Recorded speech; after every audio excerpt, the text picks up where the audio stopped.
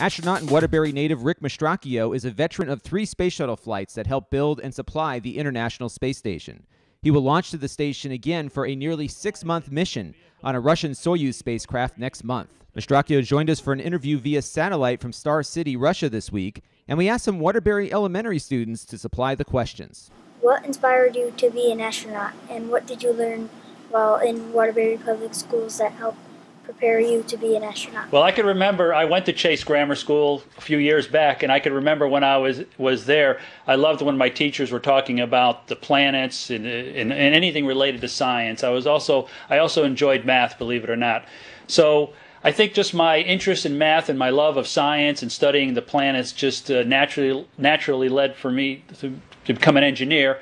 And then I was lucky enough to get selected as an astronaut after a lot of hard work. What has been the most challenging part of preparing for your six-month expedition? Yeah, that, that's a good question. You know, training to fly a spacecraft is obviously quite difficult, but it was uh, it was also very exciting for me to learn how to fly a new vehicle. But the most challenging part was probably uh, the fact that I had to learn how to speak and understand the Russian language. It's a it's a difficult language, and uh, you know, being an engineer, I'm not real good at languages, but uh, I was able to uh, uh, to master it and got through all that.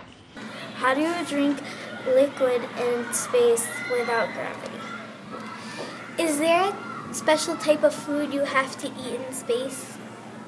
Well, to drink flu, uh, to drink uh, water or juices or things like that, the, probably a lot of the kids are familiar with the uh, kind of the uh, the drink packets in the in the uh, in the envelopes where you just poke a straw in it and drink the uh, and drink the water or the juice out of the the plastic bag, if you will. That's what we use in space. It's very similar to things you could buy at the grocery store here.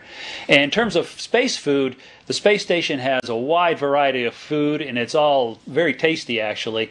But of course, I can't go anywhere without my peanut butter, so I got to have a peanut butter sandwich when I'm up there. But unfortunately, we don't have bread, so we use tortillas. And while many of his colleagues are leaving the space agency, Mastracchio says he has no plans to leave after his mission concludes in March. I once in a while I have a thought about the future, but I don't plan on leaving NASA. I plan I uh, right now I plan on sticking around after this mission, and I think it's going to be some exciting times with some of these new vehicles coming online, and I'd like to be part of that.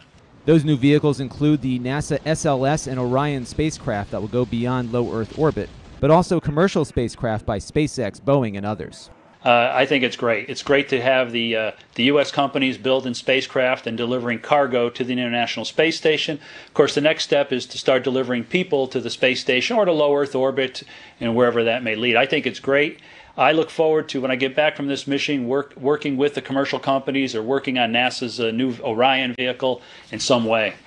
Mastracchio says he plans to return to Connecticut following his mission's completion in March.